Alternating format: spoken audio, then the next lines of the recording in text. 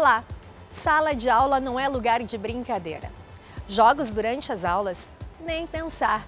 Se você pensa assim, a primeira matéria do programa vai te surpreender. Eu vou mostrar que jogos e brincadeiras podem ser ótimas ferramentas de ensino. E essa não é uma ideia nova, não. Lá na Grécia Antiga já tinha gente pensando sobre isso. Dá só uma olhada. Utilizar jogos e brincadeiras como ferramenta de aprendizagem na sala de aula pode atrapalhar a absorção do conteúdo didático pelo aluno correto. Errado. Essa é uma prática antiga e que tem mostrado resultados positivos até os dias atuais. Os primeiros estudos ocidentais para o uso dos jogos para o aprimoramento da aprendizagem remontam à Grécia e à Roma antigas. Platão reconheceu a importância do aprendizado por meio da ludicidade, em oposição ao uso da violência e da repressão para o ensino. Posteriormente, Aristóteles ressaltou a relevância do lúdico como preparação para a vida adulta, o que destacou a capacidade educativa dos jogos e brincadeiras. Lamentavelmente, os nossos alunos, na sua maioria, desde o ensino fundamental já são formatados a uma educação muito passiva, né? sentados ouvindo alguém falar. Quando eles chegam, então, à universidade, eles chegam já achando que é dessa forma que é, é o correto de se agir. E é, diversos educadores e pensadores né, da educação sabem que ah, para que você tenha uma maior, tenha uma reflexão, uma maior absorção do conteúdo, é necessário que eles saiam dessa passividade, sejam então mais ativos. E os jogos são uma maneira de torná-los mais ativos. Os chamados jogos didáticos só passaram a ser auxiliares do ensino efetivamente a partir do século XVIII com o resgate dos ideais humanistas.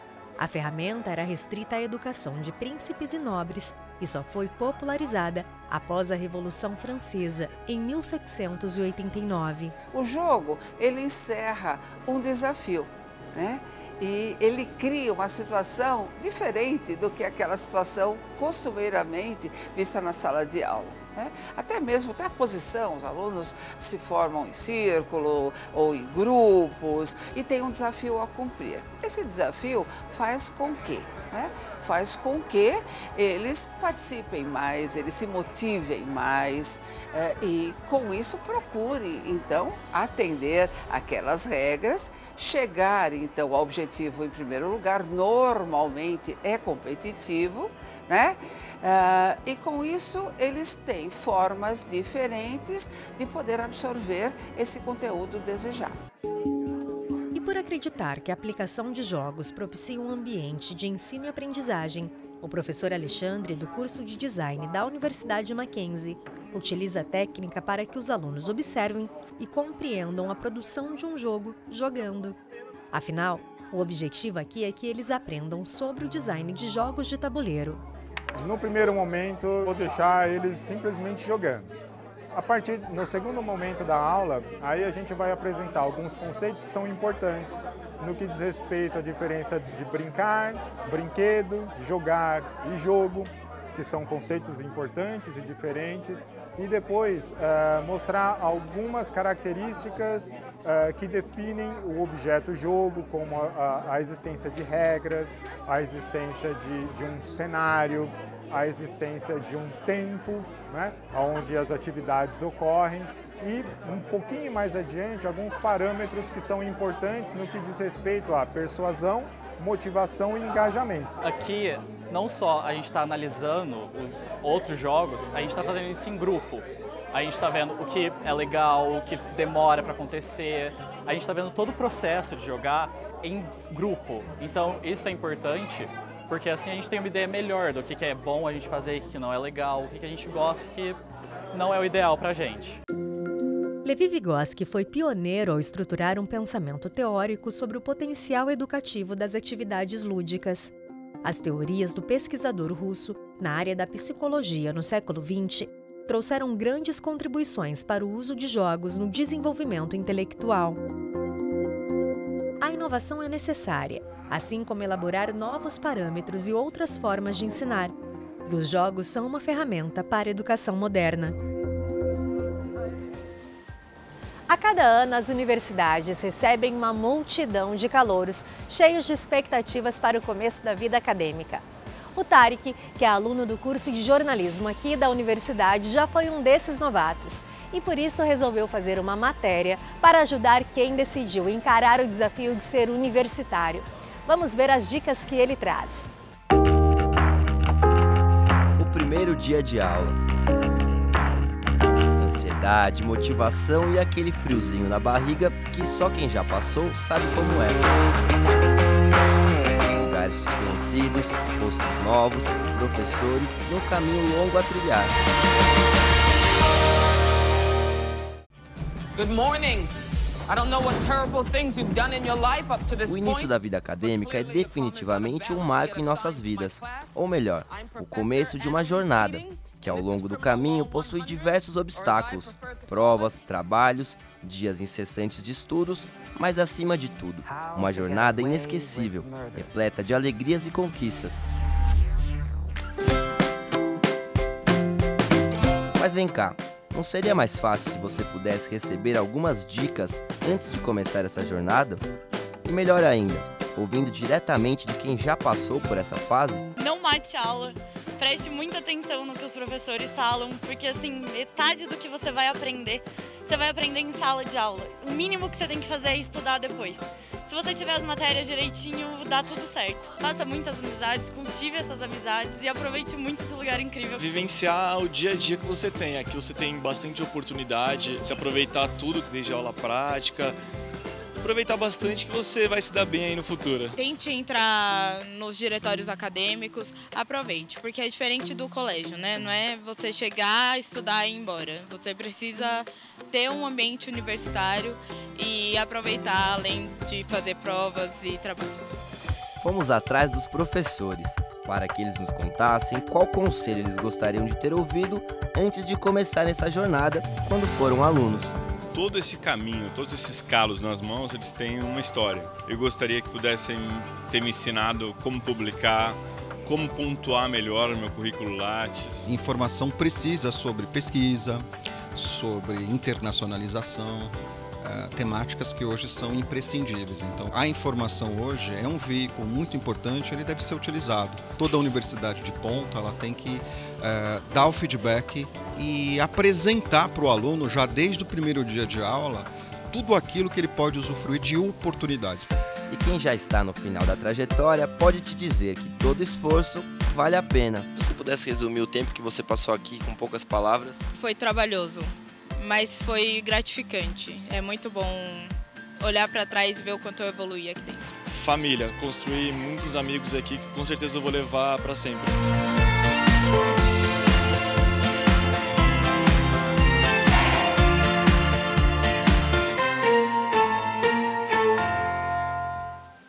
Deixa eu completar a matéria do Tarek com uma informação interessante. A Universidade Presbiteriana Mackenzie criou o PROATO, Programa de Atenção e Orientação aos Discentes. O programa fornece orientação e suporte psicopedagógico a alunos com deficiência ou com alguma dificuldade de adaptação à vida acadêmica. A iniciativa faz diferença na vida de muitos universitários.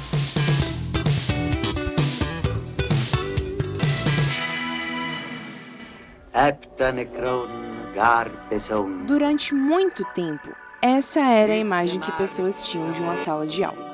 De um lado, professores no papel de donos absolutos do poder, e de outro, alunos no papel de meros receptores. Cabia a eles apenas ouvir e decorar. Mas esse modelo de ensino está cada vez mais relegado ao passado. Hoje, os alunos estão cada vez mais assumindo o papel de protagonistas do seu próprio aprendizado. Que exige que professores e instituições de ensino se adaptem a essa nova realidade. E o protagonismo estudantil foi um dos temas discutidos na semana de preparação pedagógica da Universidade Presbiteriana Mackenzie. O evento semestral reúne os professores da universidade em uma série de atividades de atualização e capacitação. Há uma, um protagonismo muito grande nesse, nessa semana pedagógica entre palestrantes e professores, professores e palestrantes fazendo assim, então construindo é, ideias, discutindo ideias importantes que ao longo do semestre elas serão aplicadas nas suas atividades pedagógicas com os alunos, que é o nosso objetivo principal. É, é um momento de revisão de procedimentos para que nós possamos caminhar para uma educação mais efetiva. A gente de fato quer que a educação ela cause mais impacto na vida, primeiramente, desse educando que está conosco, mas também na vida das empresas, na vida onde eles vão atuar. E na Universidade Presbiteriana Mackenzie, o protagonismo estudantil tem sido cada vez mais valorizado nas aulas e também em projetos que envolvem os alunos. Desde a participação em sala de aula, permitindo que o, que o aluno também se expresse, que o aluno ele levante questões, nos projetos integradores que a universidade tem desenvolvido aqui, em nosso caso. O nosso grande desafio é metodológico, ou seja, desenvolver metodologias que levem o aluno a pôr a mão na massa frente à realidade é, social do nosso país e, por que não dizer, do mundo também, que nós queremos formar o nosso aluno de uma, com uma visão, visão global, que ele tenha uma cosmovisão consciente da realidade de mundo que ele possa agir é, localmente, mas ele possa é, pensar é, globalmente.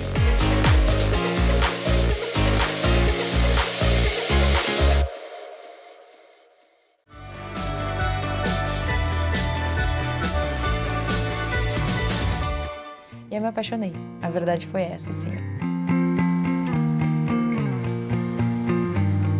E eu fui visitar com os meus pais.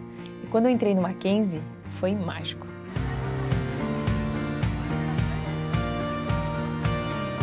A gente chegou na secretaria, o cara falou, ah, não é aqui o prédio de jornalismo, o prédio de jornalismo é fora.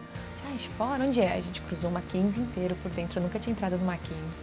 Só no dia da prova, né, no vestibular.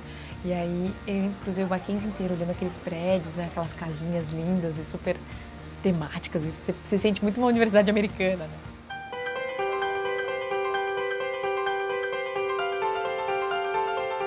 Mackenzie me trouxe muita segurança sobre a profissional que eu poderia me tornar e quando eu fui para o mercado de trabalho eu estava muito bem preparada pela troca que eu tinha com os professores, pela grade curricular que eu tive e pelas experiências que eu pude ter aqui dentro. Então eu me senti muito segura. Eu acho que Mackenzie realmente assim muda a vida. Se você se abrir e se envolver aqui dentro do Mackenzie, você vai ver que é muito especial.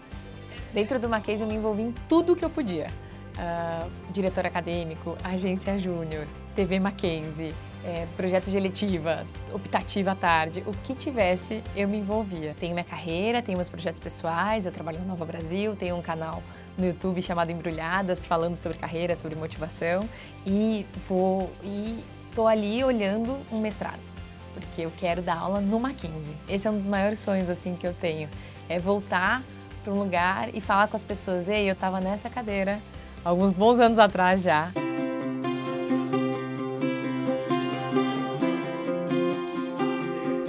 Mackenzie não tinha passado pela minha cabeça em primeiro momento, só que depois não deixou de ser a primeira escolha em nenhum momento. E tenho certeza, mais do que absoluta, que foi a melhor coisa que eu fiz na minha vida.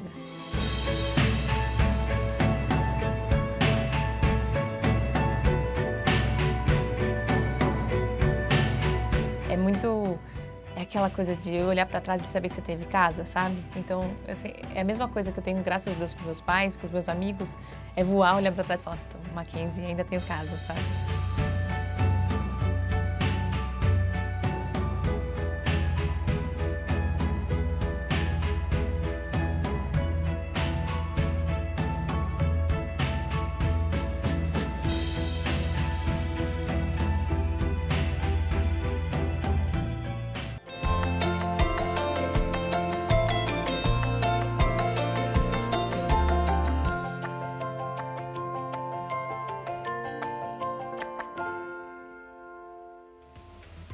Ok, o Mackenzie Movimento fica por aqui, mas eu te vejo em breve com mais matérias para você. Até mais!